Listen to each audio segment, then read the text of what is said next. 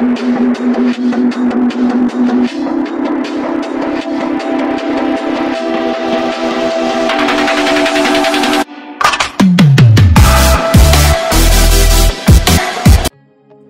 friends Mallu Europe dreamer ചാനലിലേക്ക് എല്ലാവർക്കും ഒരിക്കൽ കൂടി സ്വാഗതം.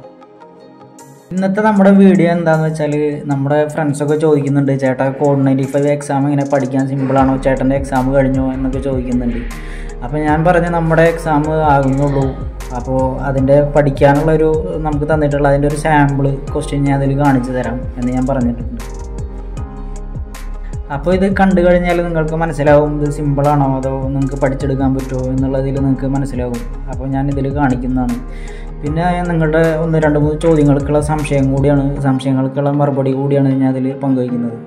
അപ്പോൾ നമുക്ക് ഒട്ടും ലാഗടിപ്പിക്കുന്നില്ല. നേരെ വീട്ടിലോട്ട് കിടക്കാം. അപ്പോൾ ഫ്രണ്ട്സ് എന്നെ സംബന്ധിച്ചിടത്തോളം ഇത് കുറച്ച് ടഫാണ് കേട്ടോ. നിങ്ങളെ സംബന്ധിച്ച് എനിക്കറിയില്ല. ഞാൻ നിങ്ങൾക്ക് ഇതിൽ സാമ്പിൾ ക്വസ്റ്റ്യൻസ് കാണിച്ചു തരാം. എനിക്കിത് പഠിക്കാൻ ഇവർ തന്നിട്ടുള്ളത് നമ്മുടെ റഷ്യൻ ലാംഗ്വേജിലാണ് ഇവർ പഠിക്കാൻ തന്നിട്ടുള്ളത്. ഇതിലൊരു നമുക്കൊരു ആയിരം ക്വസ്റ്റ്യൻസിനടുത്ത് വരുന്നുണ്ട്. ആയിരം ക്വസ്റ്റ്യൻസ് ഏകദേശം ഉണ്ട് പഠിക്കാനായിട്ട്. പിന്നെ നമ്മുടെ എക്സാം എന്റെ എക്സാം ആകുന്നുള്ളൂ ഡേറ്റ് ആകുന്നുള്ളൂ. എന്റെ എക്സാം കഴിഞ്ഞാലാണ് എനിക്ക് ഇത് എത്തരത്തിൽ നമുക്ക് ഹാൻഡിൽ ചെയ്യാൻ പറ്റും എന്നുള്ളത് നമുക്ക് അറിയാൻ പറ്റുള്ളൂ. അപ്പോൾ പിന്നെ എന്റെ എക്സാം കഴിഞ്ഞിട്ട് പിന്നെ അതിന്റെ ബാക്കി ഡീറ്റെയിൽ ഞാൻ നിങ്ങളോട് പങ്കുവയ്ക്കുന്നതാണ്. അപ്പോൾ ഇപ്പോൾ പഠിക്കാൻ നമുക്ക് തന്നിട്ടുള്ള ഒന്ന് രണ്ട് സാമ്പിൾ ക്വസ്റ്റ്യൻസിന്റെ ഇത് നമുക്ക് ഞാൻ നിങ്ങൾക്ക് കാണിച്ചു തരാം പങ്കുവയ്ക്കാം.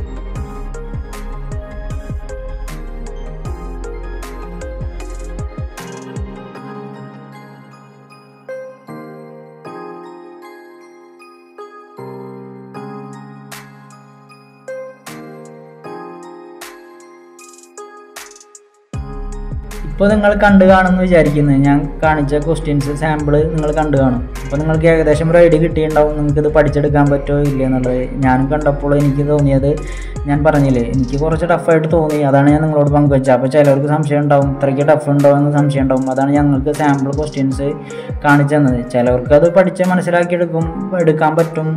പിന്നെ എക്സാം ചിലപ്പോൾ പാസ്സാവാൻ പറ്റുമായിരിക്കും. എന്നെ സംബന്ധിച്ചിടത്തോളം കുറച്ച് ടഫാണ് അതാണ് ഞാൻ പറഞ്ഞത്. ബാക്കിയുള്ളവരുടെ കാര്യം എനിക്കറിയില്ല. അപ്പോൾ നമുക്ക് ഈ ക്വസ്റ്റ്യൻസ് അതിൽ നമുക്ക് വരുന്നത് മൂന്ന് ഓപ്ഷൻസാണ് വരുന്നത്. അതിൽ റൈറ്റ് ആയത് ആൻസർ നമ്മൾ ടിക്ക് ചെയ്തിട്ടാണ് നമ്മൾ ചെയ്യേണ്ടത്. ക്വസ്റ്റ്യൻ ആൻസർ ചെയ്യേണ്ടത്. അതിൽ റൈറ്റ് ആൻസറിന് നൂറ് ശതമാനം മാർക്കും ബാക്കിയുള്ള രണ്ട് ക്വസ്റ്റ്യൻസ് വരുന്നുണ്ട് ഇത് ഓപ്ഷൻസ് വരുന്നുണ്ട്. അതിൽ റോങ് ആൻസേഴ്സിന് പെർസെന്റേജ് ഉണ്ട്. നമ്മുടെ ശരി ഉത്തരത്തിനോട് സാമ്യമുള്ള റോങ് ആൻസർ ആണെന്നുണ്ടെങ്കിൽ അതിന് നമ്മൾ കുറച്ച് പെർസെന്റേജ് പോകുന്നുള്ളൂ. നമ്മൾ ഫുള്ളായിട്ട് റോങ്ങിലേക്കാണ് ചെല്ലുന്നുണ്ടെങ്കിൽ നമുക്ക് കൂടുതൽ പെർസെന്റേജ് മാർക്കിൽ നിന്ന് പോവും. അങ്ങനെയാണ് വരുന്നത്. പിന്നെ പിന്നെ നമ്മൾ ചിലർ വിചാരിക്കുന്നുണ്ടാവും ഇതിൽ നമ്മുടെ പിക്ചർ നോട്ട് ചെയ്ത് നമുക്ക് ഓപ്ഷൻസ് പിക്ചർ നോട്ട് ചെയ്തിട്ട് ഓപ്ഷൻസ് നമ്മൾക്ക് മനസ്സിലാക്കി വെക്കാലോ എന്നൊക്കെ വിചാരിക്കുന്നുണ്ടാവും. അതിൽ എന്തെങ്കിലും വാക്കുകൾ നോട്ട് ചെയ്ത് വെക്കാലോ എന്ന് വിചാരിക്കുന്നുണ്ടാവും.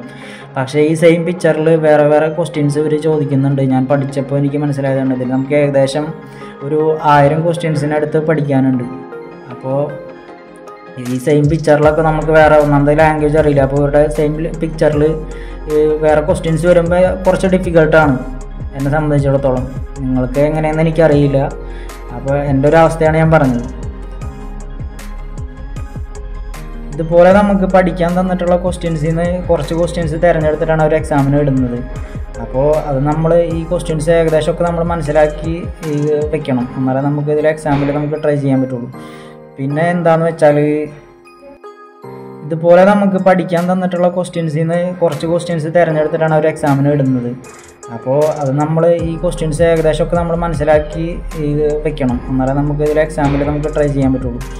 പിന്നെ എന്താണെന്ന് വെച്ചാൽ മുൻപൊക്കെ എന്ന് വെച്ചിട്ടുണ്ടെങ്കിൽ ട്രാൻസ്ലേറ്റർ ഒക്കെ വെച്ചിട്ട് എക്സാം എഴുതായിരുന്നു. ട്രാൻസ്ലേറ്റർ വെച്ച് എക്സാം എഴുതായിരുന്നു. ഇപ്പോൾ നമുക്ക് അങ്ങനെ പറ്റില്ല ഞാൻ നമുക്കിതിരി പഠിക്കാൻ ഇത്തിരി ടഫായതുകൊണ്ട് ഞാൻ ഡ്രൈവിംഗ് സ്കൂളിലെ ആളോട് ഞാൻ ചോദിച്ചു നമുക്കത് ഇംഗ്ലീഷിൽ നമുക്ക് ട്രാൻസ്ലേറ്റ് ചെയ്തിട്ട് എക്സാം എഴുതാൻ പറ്റുമോ എന്ന് ചോദിച്ച്. അപ്പോൾ ആൾ പറഞ്ഞു ഇല്ല നമുക്ക് പോളിഷിലാണ് അവർ റൂൾസ് വിട്ട് മാറിയില്ല ഇപ്പോഴത്തെ നിയമം അനുസരിച്ചിട്ട് നമുക്ക് പോളിഷിൽ തന്നെയാണ് എക്സാം എഴുതാൻ പറ്റുള്ളൂ എന്നാണ് പറഞ്ഞിട്ടുള്ളത്. അപ്പോൾ അങ്ങനെയൊക്കെയാണ് ഫ്രണ്ട്സ് ഇവിടുത്തെ കാര്യങ്ങൾ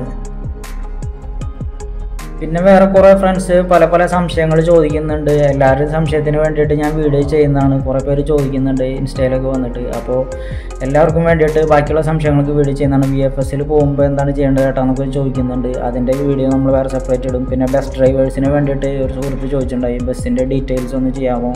ഓ അവിടെ നാട്ടിൽ ഇന്റർവ്യൂ നടക്കുന്നുണ്ട്. അപ്പോൾ അപ്പോൾ നമ്മൾ ഇവിടുന്ന് എനിക്കുള്ള അറിവുകൾ ഞാൻ നിങ്ങൾക്ക് പങ്കുവയ്ക്കും. അടുത്ത വീഡിയോയിലൊക്കെ ആയിട്ട് പങ്കുവയ്ക്കും. തീർച്ചയായും നിങ്ങൾ എന്റെ വീഡിയോ കാണാത്തവരാണെന്നുണ്ടെങ്കിൽ കാണുക മറ്റുള്ളവരുമായിട്ട് ഷെയർ ചെയ്യുക. നമ്മുടെ മുൻപത്തെ വീഡിയോയിലൊക്കെ ഞാൻ കുറേ ഡീറ്റെയിൽ ആയിട്ട് പറഞ്ഞിട്ടുണ്ട് കേട്ടോ. കോഡ് നയന്റി ഫൈവിന്റെ ഒക്കെ കറക്റ്റ് ഞാൻ ഡ്രൈവിംഗ് സ്കൂളിൽ പോയിട്ട് കാണിക്കുന്ന ഡീറ്റെയിൽസ് ഒക്കെ ഇതിലുണ്ട്. അപ്പോൾ നിങ്ങൾ കുറേ പേര് മെസ്സേജ് ഒക്കെ അയക്കുന്നത് മുൻപത്തെ വീഡിയോ ഒക്കെ കാണാതെയാണ്. അപ്പോൾ നിങ്ങൾ കാണാത്തവരാണെന്നുണ്ടെങ്കിൽ തീർച്ചയായും നമ്മുടെ മുൻപത്തെ വീഡിയോ ഒക്കെ കാണുക. നിങ്ങൾക്ക് ചാനൽ ഇഷ്ടമായെന്നുണ്ടെങ്കിൽ നിങ്ങൾ ചാനൽ സബ്സ്ക്രൈബ് ചെയ്യുക. നമ്മൾ ഞാൻ അപ്ലോഡ് ചെയ്യുന്ന പുതിയ വീഡിയോസ് നിങ്ങൾക്ക് എത്തുന്നതിന് വേണ്ടിയിട്ട് നിങ്ങൾ ആ നോട്ടിഫിക്കേഷൻ ബാറും കൂടെ ബെൽ ബട്ടൺ ക്ലിക്ക് ചെയ്യുക.